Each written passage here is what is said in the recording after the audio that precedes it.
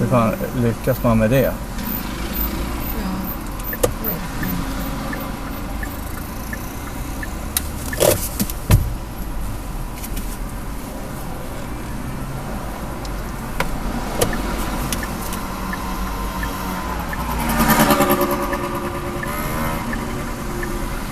Jag frågar, gick det bra? Hej, hej. Hallå!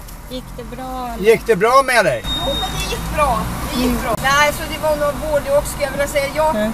jag, jag trodde att han skulle stanna men så då körde han på. Men det är lugnt, det blir bra. Ja, nej, det var undra. Ha, ha det bra. Hör, hör. Titta.